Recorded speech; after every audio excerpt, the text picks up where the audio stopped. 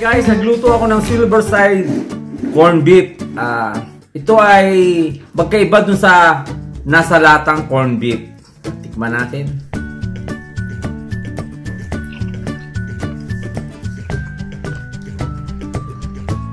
Masarap, masarap siya yung texture ng yung ng ba ng ano yung meat niya. Masarap. Hindi siya katulad ng nasa lata ay parang durog. Ito, malambot.